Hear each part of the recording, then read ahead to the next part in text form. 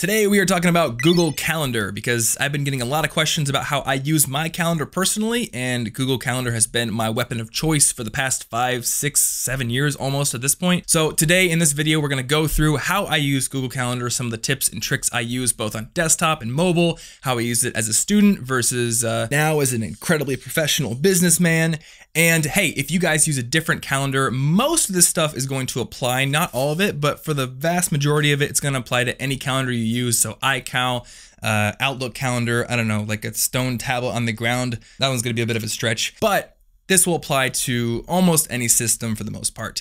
And the first thing I need to stress here is that Google Calendar is part of what I call my quick capture system. Now I'm to talk about this concept a little bit more in a future vi uh, video, but essentially the gist of it is that quick capture means you want to get ideas of any kind out of your head as immediately as possible and into a system that you trust, one that has context, one that's organized, and one that will either notify you when you need to know about it again in the future, or that you trust yourself to check regularly regularly. So with that being said, we're going to get into how I specifically use Google Calendar in my daily life. And I need to split this explanation in two because the way I use it today is very different than how I used it as a student. As a student, I had my calendar split into multiple different calendars because the concept essentially for me was to split my life into different components and then be able to look at each component individually. So I had specific calendars for classes, for work, for on-campus events. I also had one for uh, other stuff, just kind of things that didn't fit. And then I also had a professor office hours calendar. By the way, guys, if I sound like a frog right now, it's because I'm sick.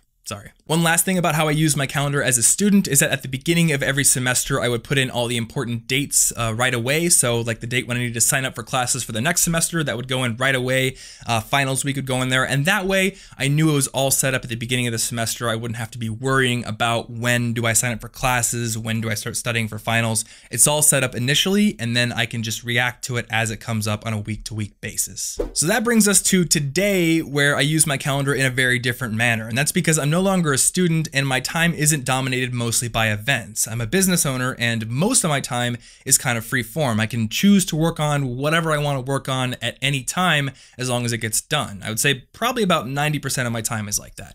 The other 10% is scheduled meetings for the most part because as a podcaster, I'm often interviewing people or I'm being on other people's shows. The other main use is for travel since I'm going to schools to speak sometimes or I go to conferences that are in different cities and different states. I'm often traveling and when I travel, I create create all day events in the calendar so they're not blocking up the hourly slots. And that way I just know, oh, I'm in Denver these days, I'm in New York City these days. And the last main thing I use my calendar for these days is for exercise because a lot of my exercise is actually event driven. Like my yoga class is 6:30 p.m. on Thursdays, so I got to be there on time. And for ice skating practice, it's only a very limited window of time every day that I can do it, so I just schedule on the calendar. And then because I'm a completionist, I put my gym time on there as well. So with those explanations out of the way, I got a few more things to talk about. First of which is mobile. Now, I used to use Sunrise Calendar on my iPhone to manage Google Calendar because it was free and it was beautiful. And at the time, the Google Calendar app kind of stunk, in my opinion. That is not the case anymore. I think the Google Calendar app is pretty good. However, I don't use it because now I use an app called Fantastical. And the reasons I use Fantastical is number one, it is the best calendar app that I have found for use on the Apple Watch right now because it's the one that has glances, so I can just easily look at the watch, swipe up, and see what my next event is.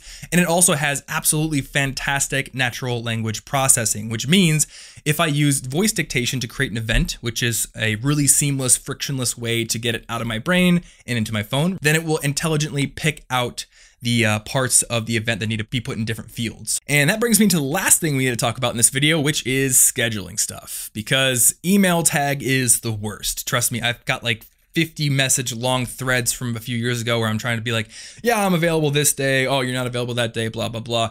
You can use technology to make this much, much simpler. Now, the app that I use on a regular basis is called Calendly. And this is an app that lets you define certain dates and times on your weekly schedule when people can basically pencil in their own appointments with you. And this is really, really useful for people like me who are podcasters and who have to schedule interviews a lot, or maybe people like uh, tutors, anyone who has to open up big amounts of their schedule in limited windows to let people basically pencil in their own appointments appointments.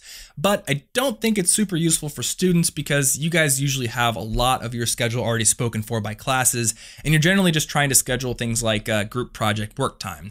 Now, Google Calendar has their own like find a time feature, but what I found is most students don't have their calendar game on lock, so you're going to be like the only person who has everything really nicely scheduled, and everyone else is going to be like, yeah, I don't know what I'm doing next Tuesday. So Doodle is what I recommend for you guys because Doodle basically lets you define a date range and then everyone can vote on the times that work for them and you can easily see the column where everyone's available. So that about does it for this video. Now, if you've been paying attention, you are now a scheduling ninja, though do not put that in your Twitter bio or I will find you. And if you guys have extra tips about how to use your calendar that I didn't cover here, I would love to hear them. Otherwise, thank you so much for watching. If you enjoyed this video and you found it useful, give it a like to support this channel. And if you want to get new tips on being a more effective student every single week, click that big red subscribe button right down there. Also, I wrote a free book on how to earn better grades, so if you want to get a copy of that, you can click the book and I'll send one to you. And in last week's video, we talked about skipping classes and whether or not it's worth it, so check it out if you missed it. Also, if you want to get the full article for this video, along with links to all the resources we talked about, click the orange button right there. And lastly, if you want to connect, I'm Tom Frankly on Instagram and Twitter, or you can leave a comment down below. Thanks for watching.